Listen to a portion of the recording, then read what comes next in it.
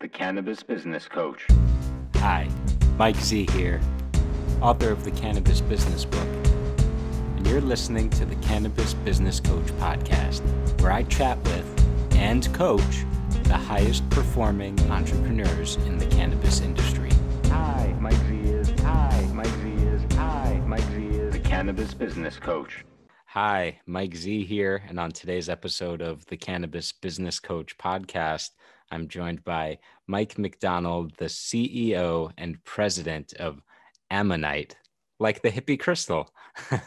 but it's not a hippie crystal, it's a cannabis technology company that's not only bringing a new product to market, but building a new category. And we'll talk about that today. But first, I want to welcome you, Mike. And if you don't mind, can you tell the folks at home a little more about yourself and your background? Yeah, sure. Hey, Mike, Mike Z. I like that. They uh, they refer to me as Mike McD. So um, I like it. Uh, so thanks for having me on. Um, yeah, I mean, my background, not unlike a lot of folks in the cannabis industry, is really eclectic, right? I mean, I come from a very sort of entrepreneurial background. Um, I come from more of an operations background as opposed to like a financial engineering side. So as we all know in this industry, was really built by folks in the operation side. I mean, cultivation to processing, retail, and so forth. Um, but then there's also been a lot of money that's been brought into the space to really help it grow. So I'm an operations guy. My background is, you know, when I went to college, uh, left college, I went to Taiwan and I studied Mandarin Chinese, and that got me into the bicycle business. Um, but even in college, I was always hustling. I had a carpet store and I ran the spring break trips to Florida um, you know, paying my way through college and just kind of always just moving just is what I had to do. But after college, went to Asia, studied studied Chinese um, primarily so I wouldn't take a job with Procter and Gamble like all my buddies. Um, and that sent me on a course of manufacturing and product development. Um, I ended up working for Giant Bicycle, and at the time was not even a brand, and we I was a small part of launching it nas- uh, nationally and internationally in the U.S. and so forth um, which is really interesting. It's now the largest bicycle company in the world. Um, parlayed that into more sort of action sports related projects um, and sort of culminated with this ski sports, snow sports business um, where we invented a new type of snowshoe um, from the old tennis racket style to the really modern high tech one. And it was called Atlas Snowshoe Company, and I ran all the revenue for them when we were just five, six people and grew to quite quite a big company. Um, but it, it's akin to how I got into the cannabis space as follows. Um, we grew this company, but we really built an industry a, a, a, category at the same time. There was no such thing as snowshoeing at big resorts and and um, you know moonlight snowshoe walks and all that. So as we built Atlas, we built this infrastructure of community and and uh, category. And we took that company and we, it ultimately got sold to a publicly traded company, K2 Sports. Um, out of that, I made a little bit of a, um, uh, a nice little return on on my equity, and you know stayed in that business, but also did a few other things, including real estate. I, I helped run a, a, furniture company, again a hard goods product that um, we made and then built and sold. Um, and I got invested. I got together in the cannabis industry with Jetty Extracts in California, where I became an investor then an advisor, and then full time running corporate development, sales, and a lot of different things. And Jetty is one of the largest brands in California. Brings us to present. Jetty invented a product called Dablicator Oil Applicator, which really served the medical market. Um, and we saw a big boom in oil application, both in medical and adult use. Um, and we decided last year to spin that business out of this plant touching cannabis business and and that's what Ammonite is. And, and I'm running it with a small team, and we're really looking to grow this oil application category as well as our technology. Wow. So that's super that's cool. a lot. I apologize. That was that was a bit no, of a rant, but, uh... not at all. Super interesting. So what I'm hearing is that you've been an entrepreneur since you were in college, maybe even earlier, um, and have a very non-traditional path which i like to tell people this is a non-traditional industry so if you have a non-traditional path that's probably good and right. so i hear that you have been involved in bringing products to market inventing new products launching categories, basically, which, you know, in my understanding, requires not only bringing a product, a new product to market, but creating awareness for consumers that, hey, this is a thing. This is something you should pay attention to. You've never heard of it, you've never tried this, but you know, check it out. And here's why. Which maybe we'll get into that a little deeper. But basically, you you started out uh, again the non-traditional path as an investor in the space and then became an operator leveraging your your background i'm i'm curious what made you make that transition or how did that transition come about with, with jetty? Was it just to kind of protect your financial interest the, the investment you made or was there more to that or how, how did that happen? Yeah i mean it's it's a really cool story. I mean i i touched on having done and still do real estate development and um, i actually sold jetty their headquarters and their lab. So it was our building. I sold it to these kind of really scrappy, interesting guys in the cannabis business uh, five years ago. And as part of the deal is we got some equity in the company to kind of bridge the gap between um, what we wanted and what they wanted to pay. And I just became, and one of the reasons we did that is I, I really grew um, some affinity for the founder, Ron Gershoni, and, and his partners. And I said, these guys are good guys, smart guys. And I was in a position to sort of jump over and help raise money, be an advisor. It was really interesting. Um, and as I got deeper into it, and yes, it was inside of kind of taking a look and keeping an eye on our investment. Um, but as I got in, uh, you know, Ron was just like McD. They call me McD. Uh, um, you know, why don't you come in and and kind of really work hands on? Um, and I think it'd be really valuable as we grow this business if you got some real hands on experience. You know, so running the sales department, running product development, um, and I was like, yeah, I mean, I was in a position to do it. Um, you know, the salary opportunity was pretty meager, like a lot of this industry. Um, had to convince my wife. I'm like, hey, I'm going to get into the weed business full time. And she's like, uh, okay. Um, so, you know, I went from really, it was a transactional on the real estate side to having shares to kind of keeping an eye on our investment to just becoming fascinated with the industry. Um, uh, you know, to, to your point, uh, and how I might, you know, utilize some of my background in in, uh, in, the, in, in the way of contribution. So let me ask you how your experience in this industry, or with this industry rather, was it different from being in the bicycle world or the furniture world or, or real estate? How was it getting your hands dirty and kind of getting into the operation side of a budding cannabis startup? I mean, it's totally different, but a lot of the same sort of approach to the business, challenge, business challenges are the same. You know, federally illegal. We had no banking. We were flying, you know, Jet Suite X from Southern California to Northern California with duffel bags full of money. I mean, just just insanity. No capital. Um, everything was paid with cash. Um, you know, the governance and the and the um, on the ordinance and, and just the, the, the rules to operate as um, cannabis became adult legal in 2018 and the hundreds and hundreds of thousands of dollars we had to spend on outfitting our lab. I mean, these are all like really incredibly interesting problems, but nothing, I mean, you know, it didn't take much to, you know, there was already an established market for bicycles, right? And a, and a roadmap on how to get there. Um, snow sports, we invented a category or helped grow a category, but, you know, you sell your product at a trade show, you, you know, you pick up REI, you, you know, um, but with cannabis, it was just such the wild west. And in many respects, it still is. Uh, especially as we get outside of California, what I'm doing now is, is really sort of more akin to what I did before, which is taking a product, innovating with it, and scaling it nationally and internationally. But the first several years was just all about California and understanding how it works and and you know the the industry and the company like sort of building the plane as we were flying it. Um, and i you know and I, I maybe in some respects i've done that in the past um, but this was, has been the most fascinating um, component of my career in that respect. Awesome. Got it.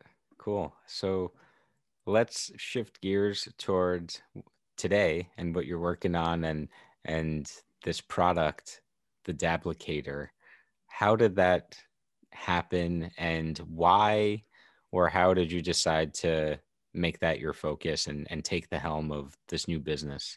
The applicator oil applicator was invented inside Jetty. I think I mentioned earlier, and it it was invented in this really special way, in my opinion. It was invented uh, uh, in initially um, for a friend of the um, of the founders, Alex, who had brain cancer, and he was dealing with the after effect of treatments, chemotherapy, and so forth. No appetite, was losing weight, um, you know, nausea, pain, and so forth. So um, the Jetty founders, Ron and Nate and Rob, were, would be bringing cannabis oil to Alex, and it really helped him with his um, with his appetite and, and the way he could ingest it because he couldn't smoke and, um, and and you know dab and so forth. Is he used a syringe and you, you put cannabis oil in a syringe, you're able to take it sublingually. It, it's very fast, uh, effective, um, uh, and and they saw it and they're like, man, this is kind of sketchy. It's not convenient. It's messy. Um, we can do, we can bring a better product to market. And, and at the same time, and, and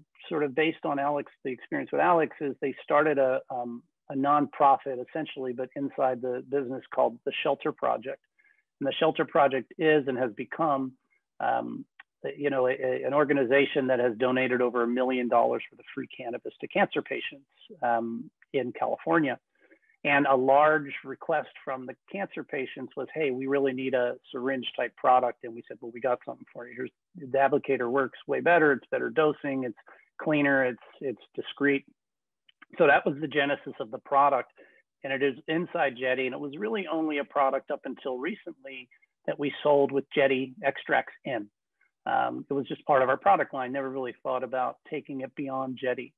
Um, and about a year ago, we got an inquiry and, and, got a huge order from one of the big MSOs, Surterra in Florida, and and, the, and their uh, sister company NETA in, in, the Northeast for a custom branded Dablicator product.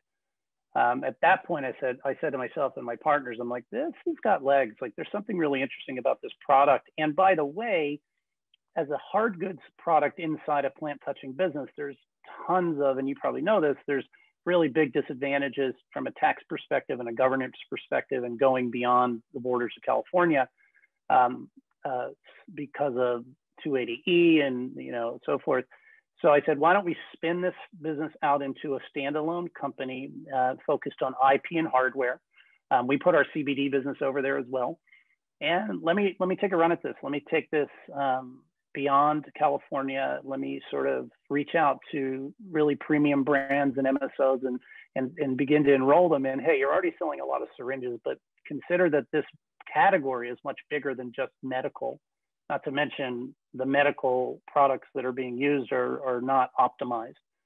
Um, so that's what we did. And we spun it out as a platform and a, and a partnership platform, not unlike PAX, um, where, you know, you get on the platform, uh, you buy a turnkey solution from PAX or Geo, GPen, and that's what we're doing. So we we said instead of just buying a white label fancy looking syringe, we want to um, support you and give you a full turnkey program where you can take your exact oil that you're putting into vape or tinctures and you can put it into Dablicator and you can begin to offer your consumers, you know, 5, 10, 12 brand new SKUs and really sort of attack this growing market that maybe you didn't even know was growing.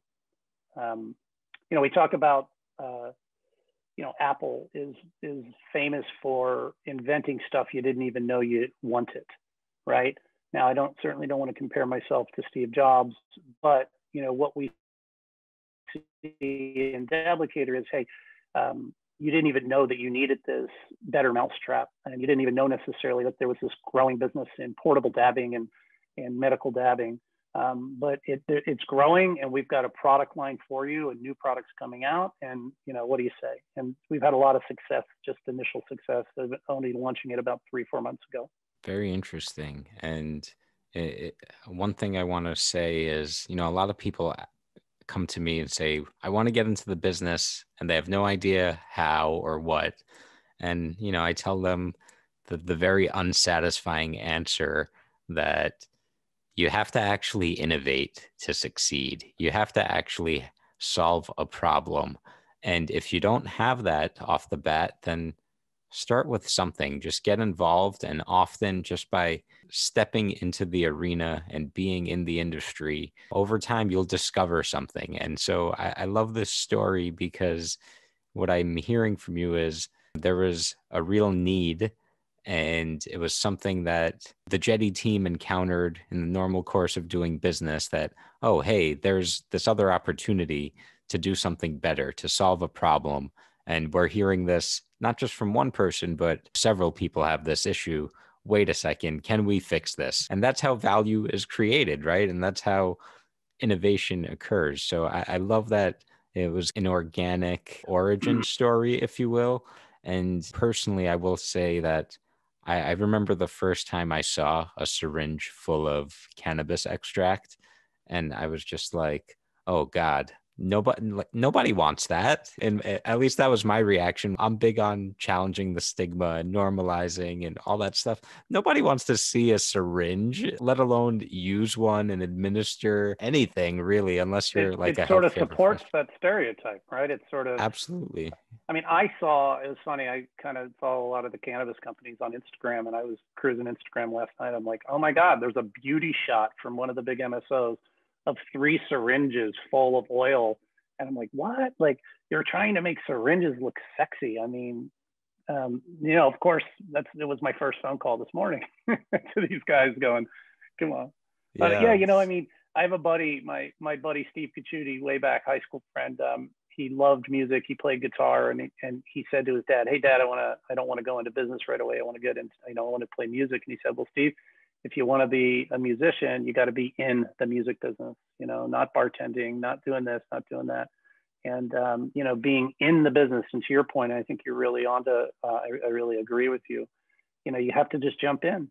And um, whether you're new to the business, I mean, I get calls all the time. Hey, you know, my, my, I, I just graduated and how do I get in the business? I'm like, well, get in the business, be a bud tender, you know, go package. We, we have a, you know, we have a packaging job opened at Jetty if you want to come talk to the product manager. And um, and I, I, you know, and if you're if you're entrepreneurial, if you're um, you know a hustler, you can find opportunities in what is you know one of the fastest growing industries on the planet. I mean, how can you go wrong if you've got um, you know uh, uh, integrity and and and go get themness uh, uh, you can you can do and really commitment you can do a lot of things in this industry. Absolutely. And and if you're one of those folks listening or watching and you don't know where to start, then start by getting educated. Head on over to Amazon, pick up my book, The Cannabis Business Book. Nice. Now available in audiobook. If you like the sound of my voice, you could listen to me read the book it's it's quite trippy with that shameless plug behind us now mike. I like it. I, w- I want to ask you if you can speak to it you mentioned you have other products coming online.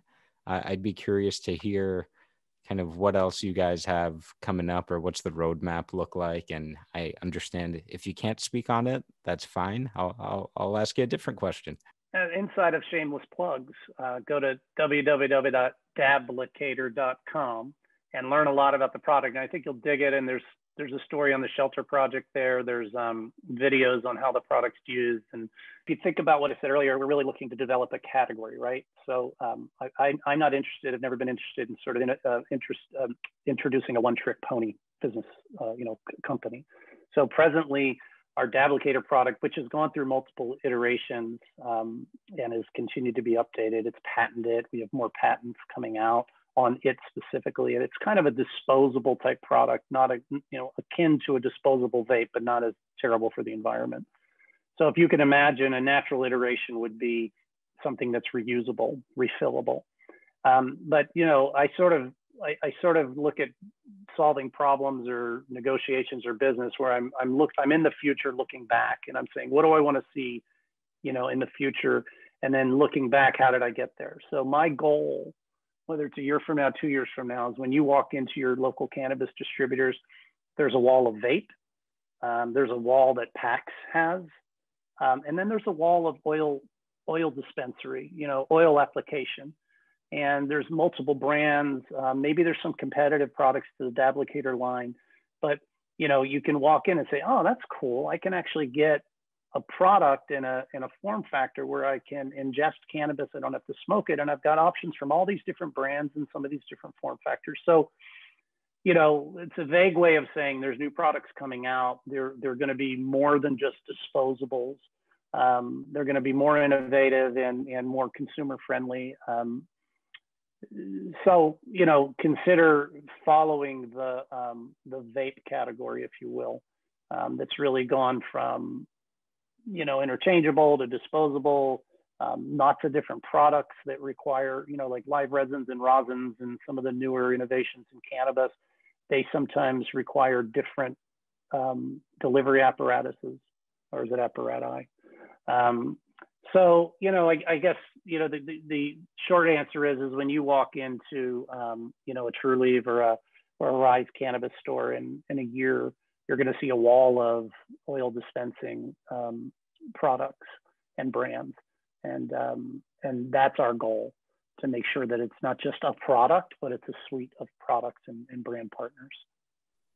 Got it. And I want to take a step back towards the shelter project I just want to uh, on, honor you guys for doing that, for donating. I, I think you said over a million dollars worth of cannabis to cancer patients in California. And I think, first of all, that's phenomenal. Second of all, I want to say, you know, I'm a big proponent that anyone who's in this industry has to do some form of community reinvestment and giving back. And it should be part of your business model from day one. Right.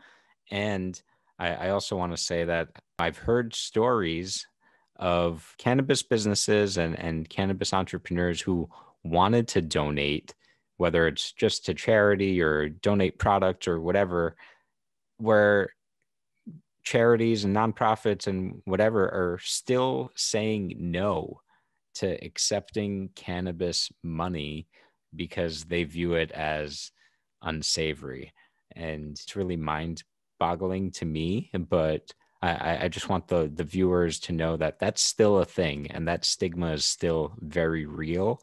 And I think it's super important that businesses and the community continue to do it anyway. And right.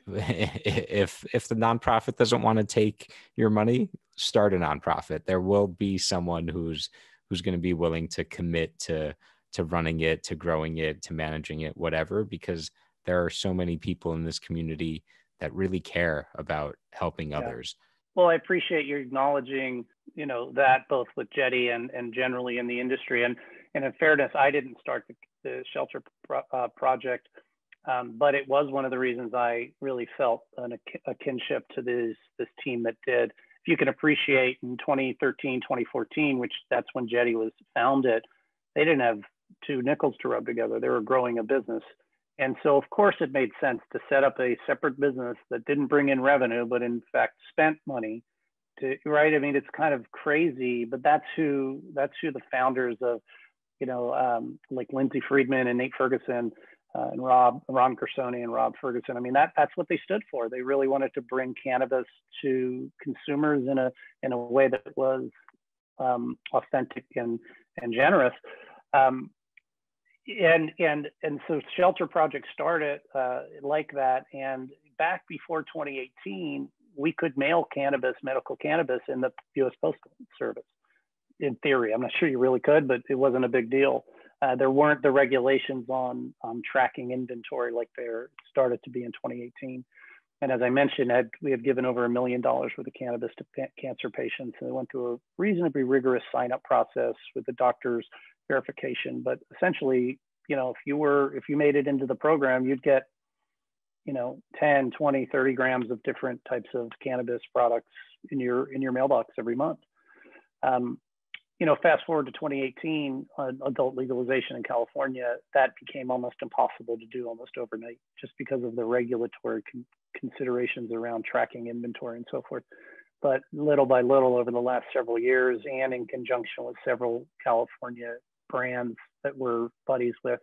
We lobbied the California state government for a compassion law that has now allowed that sort of contribution of actual product to start happening again. It's a little more rigorous, it's a little more onerous, but we're doing it again, as are some other brands in their own way. Um, you know, from a stigma perspective, are you, where are you based, Mike? I'm in New York. Okay, so California, the stigma is very, is much different. It's, it's sort of the most developed market out here. It's as if it's a, I mean, it's a full CPG business where there's competition and brands and you know, very much like a normal business, with the exception of the fact there aren't enough retail stores in California, which make it difficult to run a business if you're on the supplier side. Um, but you're right. I mean, until recently, uh, that stigma is there. It's it's it's falling away more and more. Um, and investment in community is a big part of what we're up to. Social equity is a huge component to the industry right now, as I know you're aware. You know the um, uh, uh, community of Black and Brown um, folks have been taking the lion's share of the of the um, penalties for being involved with the business, and the, you know the Last Prisoner Project and and legislation that's really focused on giving minorities an opportunity to participate in this in this groundswell of uh, opportunity. Uh, Jetty has sponsored and is partner now with a um, minority started and owned brand called Oakland Extracts, for example. Um, we're helping it grow. We're giving it seed capital. We're putting it through our distribution channels. Um, we uh, incubated it uh, through the social equity plan in Oakland, where we brought in a minority-owned business to help them get started. So it's very much part of the ethos of, I would say, the the authentic cannabis companies. Um, and it's becoming a requirement, even if you're not necessarily authentic, just from an ordinance perspective. So, um, yeah, I mean, I, I'm with you. I think it's it's what's incrementally pretty awesome about the industry. Yeah, great. And I, I want to highlight one thing I heard, which is something that I'm constantly pounding the table on for entrepreneurs in this space, which is first of all, activism is mandatory. And second of all, even once a state goes legal, for example, California in 2018 with adult use, that doesn't mean that the activism is over or, and done with. There's still often plenty of work to do to adjust restrictive regulations or to make the program more equitable or to increase access to patients and you know it's like it's so easy to read the headlines and think oh okay this is over we won kind of thing and in reality that's just not the case. There's still so much work to do whether you're in a legal state or a state that's you know just coming on board or a medical state there's often still a ton of advocacy that needs to happen so that there's greater access and protection for people who need it most, which are, in my judgment, are the medical patients and the folks that have been disproportionately harmed by prohibition. Mike, I want to ask you a, a, little higher level question,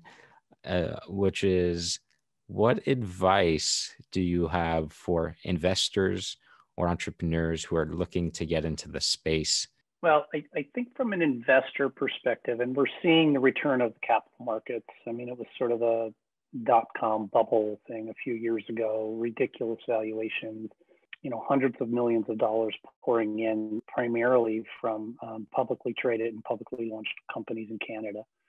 Um, and as well as, you know, investors that were putting pools of money together to invest in early startups. I think what you're seeing now is a much more normalized business model. Um, you know, for example, a couple of years ago, Jetty was focused on grow, grow, grow, grow, grow at any expense. You know, burning cash, grow, get market share, such that we're, um, you know, an attractive candidate to collapse with some other businesses, to become a part of something larger. Um, and when the cannabis investment bubble kind of um, popped in 2018, 2019 um, we saw it coming. I'd like to think we were a little bit ahead of the curve and said, you know what, this grow at any cost is crazy. Let's run a sustainable business. Like, you know, businesses that, you know, don't, you know, are burning cash and, you know, growing, growing, growing, it's not sustainable. And, and so we switched gears and looked at profitability, slowing our growth to the extent we needed to, getting rid of accounts that didn't want to pay us, um, cutting back on overhead so we could really be this more sustainable business to our investors and our employees. Um, so from an investor perspective, I think you want to look at companies that are real companies that, you know, there's a real there there. Um, companies run by real operators and not necessarily financial engineers. Um, and we're seeing a flight of capital towards that type of uh, investment. Uh, if you take a look at some of the better MSOs, multi-state operators out there, you know the GTIs, the Trulieve, um, the Crescos and so forth. I mean, they're running real businesses. Um, they're very capital intensive because they're building out brick and mortar in every single state and full vertical. But I think you're going to have a handful of winners on the national level. Um, so investment there, I think, is smart. Um, some of the folks at those companies that I mentioned have really, really um, excellent leadership. Um, and uh, and then, you know, if you're if you're getting a little more granular, if you're looking to sort of invest in something that could pop down the road, like an investment in Jetty, an investment in CannaCraft, an investment in Plus, which are you know brands that are mostly focused in California, the largest cannabis uh, market on the planet, bigger than Canada itself as a state. Um, again, you're going to want to look for and I recommend looking for real operators, people that know how to run a business from cultivation to, to delivery and retail um, not the fancy, shiny, um, sexy sort of branding. Um, so that's from an investor perspective. And then um, I apologize. The second part of your question was for um, operators or entrepreneurs who want to get into the business. So um, advice yeah, I mean, I think I think we touched on it earlier. Um, get into the business. If you want to be in the cannabis business, you got to be in the cannabis business, not on the sidelines. Um, it's kind of you know, I was running a company. I was president of a twenty million dollar concrete furniture company um, when we sold our building to um, to Jetty. It actually was our old headquarters. And I said to my partner, "Hey, I really, you know, I've kind of helped you get this concrete uh, business up and going, furniture business up and going. I think I'm going to pivot." And he's best one of my best friends um, that started the, the furniture company, and he said, "Do it." And so, because I knew I wanted to get in the business, but I did. I was sitting on the sidelines as an investor and an advisor, and um, I just jumped in. And and so, you know, not everybody can afford to leave their day job and you know jump into cannabis, but I think um, the opportunities are there. Skill sets that are um, have been developed in the consumer products industry retail business, manufacturing of other products are very much transferable to this industry, especially as it normalizes and needs to become a real business. You know, finance, accounting, sales, marketing, operations. Um, you know, if you want to be in this business, there's no shortage of opportunities. And frankly, now that it's developed, there's not even a, um, you know, you're not going to have to give up a real paycheck because of the growth of the business and the uh, and the demand for talent. So you know, get intentional, um, decide why you want to shift into this industry, and then you know, I, I say um, the best man or woman for the job is the best one who can get the job. so you know, might not be the most talented, the most uh, you know highly skilled, but if you can get the job, you got the job. So um, you know, having having a hustle. Uh, uh you know, having hustle as part of your ethos is is going to be good in any industry, and and specifically in this fast growing, really interesting cannabis industry.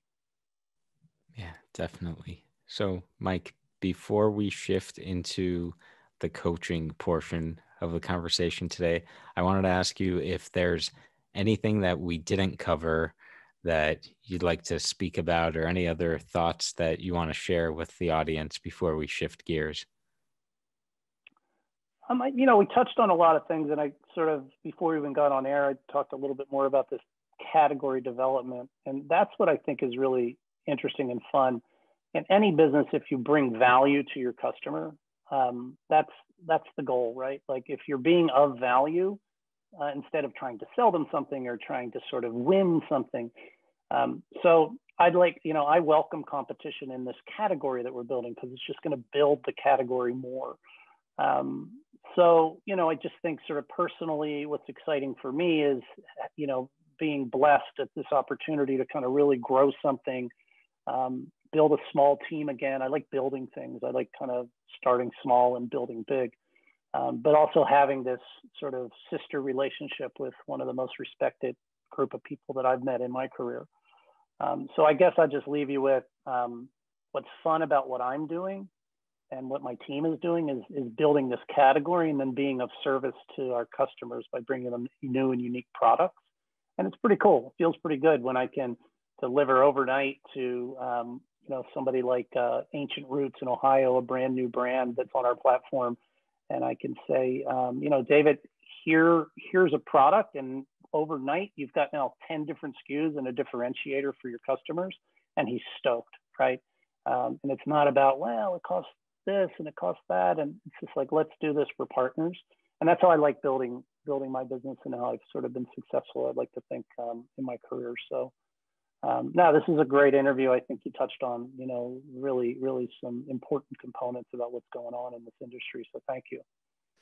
Oh, thank you. And it sounds like you're having fun and I'm having fun too, because I, I, get to yeah. share stories of entrepreneurs in cannabis and, and document that, which I think you'll probably agree that, you know, this is a once in a lifetime industry or this this point in time seeing things come online and being able to build in this industry while it's still nascent and in, very much entrepreneurial I, I think is something that you know we'll all look back on one day and say wow like what what a what a gift to be able to be a part of that. Yeah so it's my pleasure to to be able to chat with you and share your story.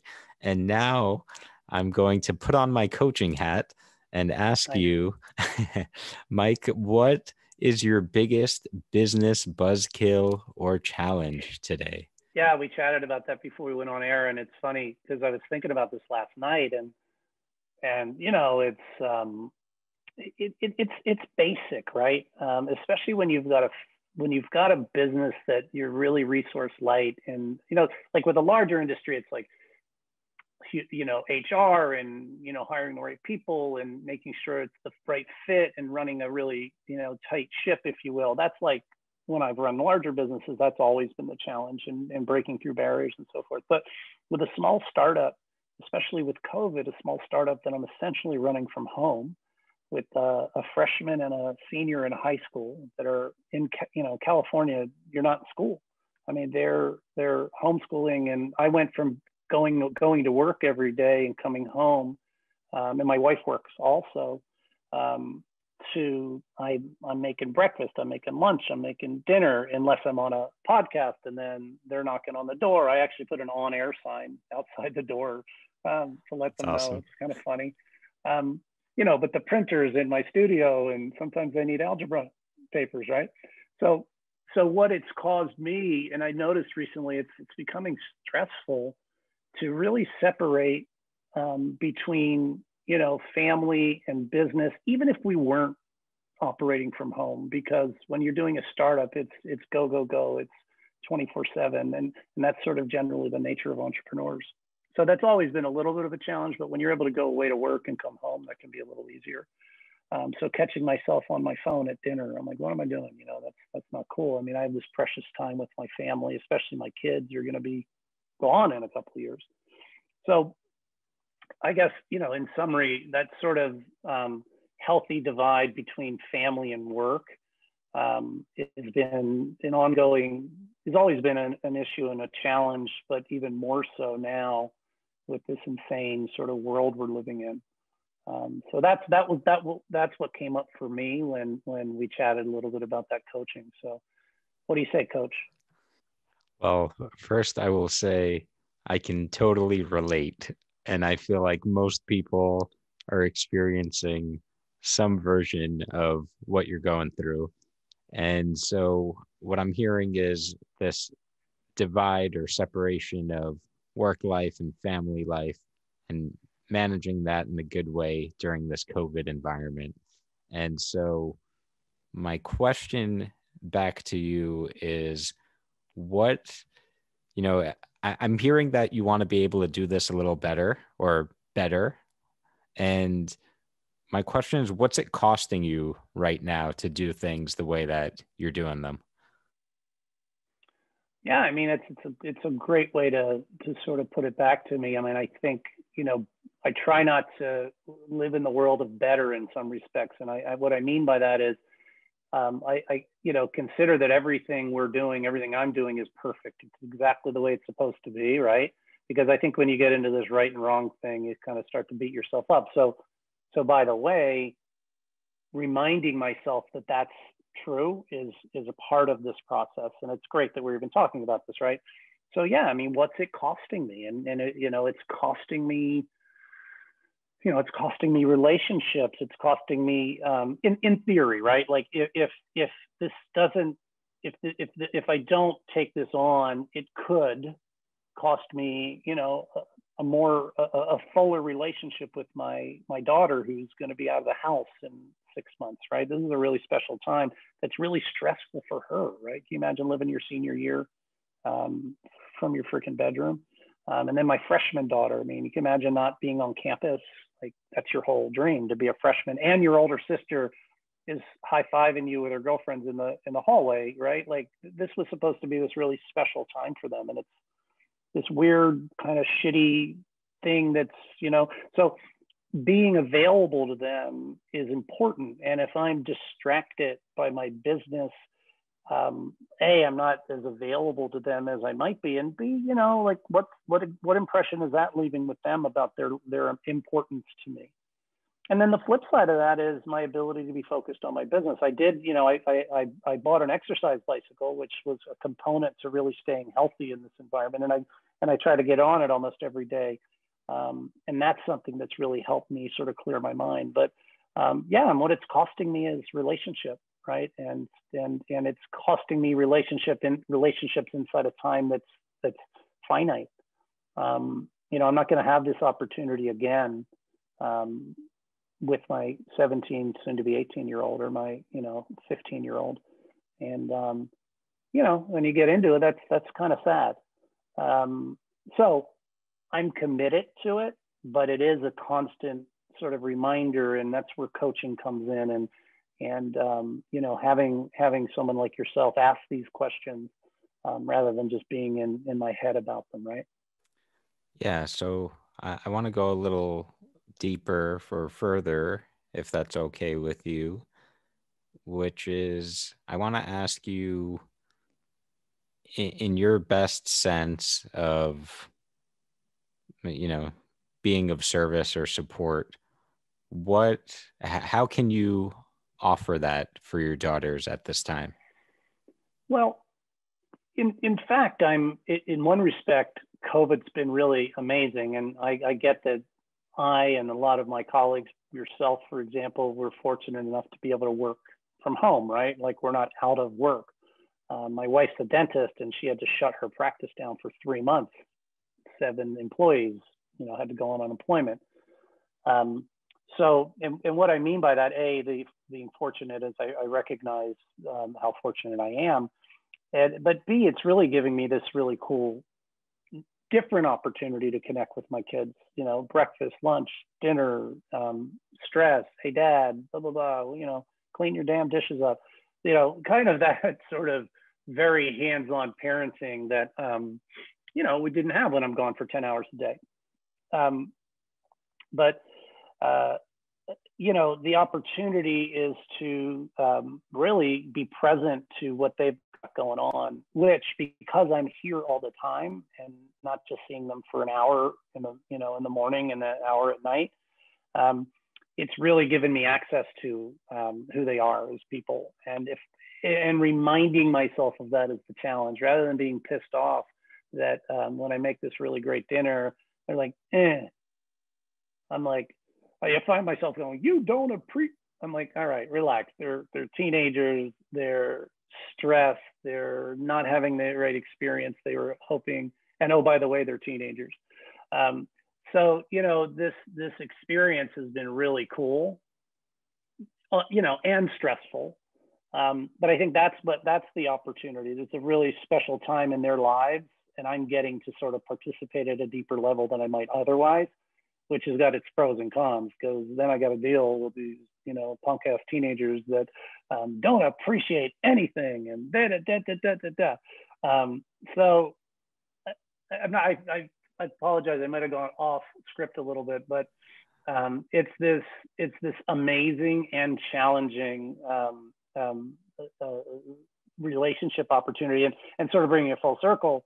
It requires it requires commitment and focus. And when I'm on my phone and you know I don't shut it off, and it's dinner time and I just have to send this this one last email, um, I'm sort of robbing myself and them and, and, my wife. By the way, we didn't really talk about my what my relationship is in my marriage, which is really great too.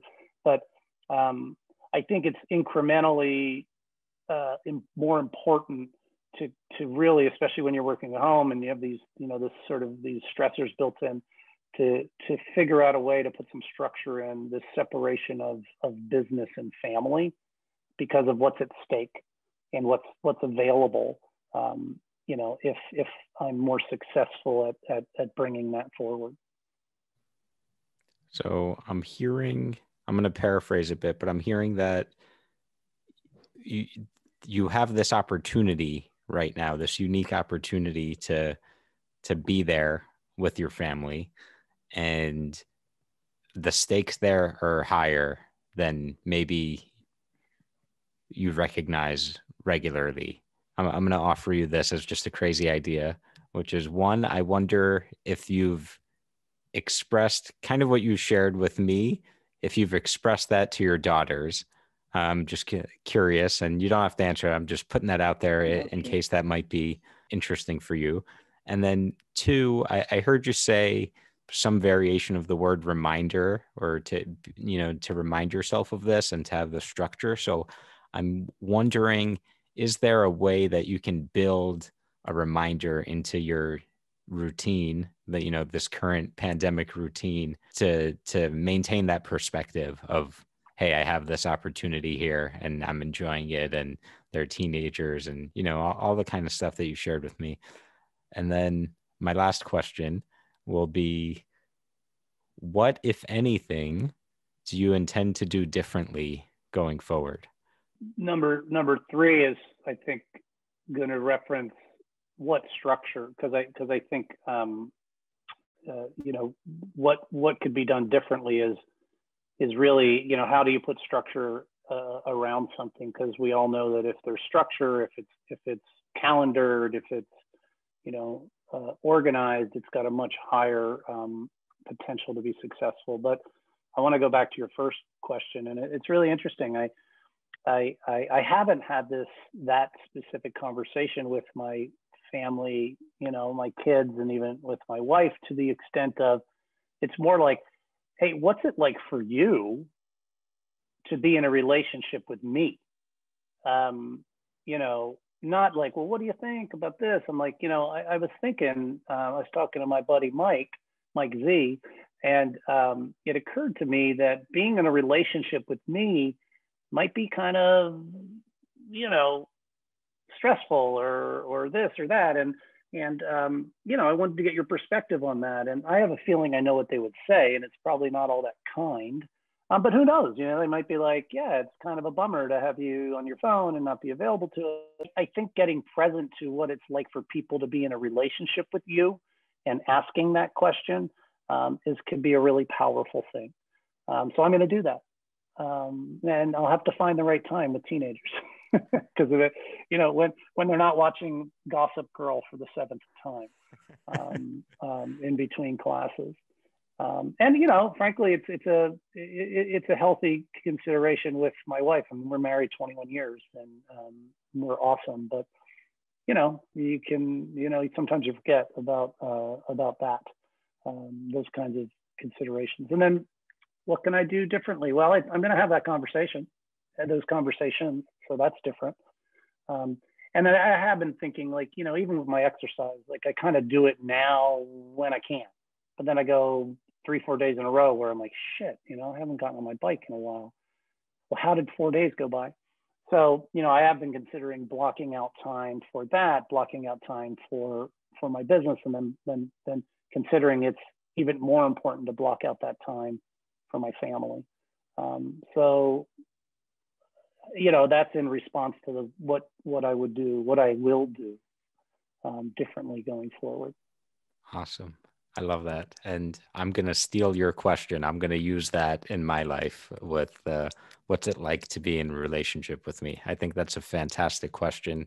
And I encourage anyone and everyone who's listening to this, ask the people you're close with that question and open the door to that conversation. And I can't imagine that it won't strengthen those relationships. So I, I think that's a phenomenal question. Thank you for that, Mike. Well, I, I, would say, just as an adjunct to that, um, you know, what's it like to be in a relationship with me? And ask that with any expect with no expectations, and ask that with real wide open uh, ears. And and as you begin to tell me what it's like to be in a relationship with me, you know, uh, uh, what I found is, yeah, and then what else? And okay, that's okay, and what else? And you know, you'd be surprised. And what's interesting, what can come out initially is the things that piss them off about being in a relationship with you. But as as I've when I've done this in the past, um, you begin to kind of get what's also great about being in a relationship with you. And it can change the perspective to your point of that of that relationship. So yeah i want to hear more about it. And and i'm inspired just in this conversation to to do it more because um, when i've been really sort of powerful in my relationships um, i was doing that kind of stuff so thank you for that reminder yeah, awesome. I love that. Thank you. And I, I got to just respond quickly with a little joke. I think I'm reminded of uh, one of my favorite Ali G skits from back in the day, where he's like talking to, I feel like it was like a former DEA agent, and he asks about marijuana and all of the the side effects, and you know the the officer says like this whole list of things, and he just responds and he's like and what are the bad ones? So uh, i feel like it's like the, the reverse in this situation of you know what's it like being in a relationship with me? And it's like yeah they, they talk and talk and what are the good ones? So i i, I want to add that caveat to to mike's point which is maybe in the instructions offer hey you'll have a minute to tell me the the bad stuff and then a minute to tell me the good stuff you know? So it's a little balanced and and totally echo the point of open listen with open ears and an open heart and don't take it personally but pay attention because if you trust someone enough to ask that question and to listen to what they have to say if you actually value their opinion and care and they care enough to be honest and give you that feedback it's probably something that you're going to want to hear it might not be pleasant in the short term but in the long term, it'll probably be good for you. Yeah, you're right. Awesome. Mike, this has been fun. I'm going to let you off the hot seat here. and I appreciate you being willing to open up and share some of that stuff and be able to, to as we say, dance in the coaching sense of the, the word. Oh, oh, wait. I, speaking of which, I have to say the and what else in coaching school. That's like the second question they teach you because Uh, that works for just about anything is just asking and what else? And what else? and and following up with that. So i, I love that yeah. you went there. For the aspiring coaches listening you know that's a put that in your in your toolbox because you're going to need that all the time. It's it's yeah. amazing how, how how well that works. So yeah.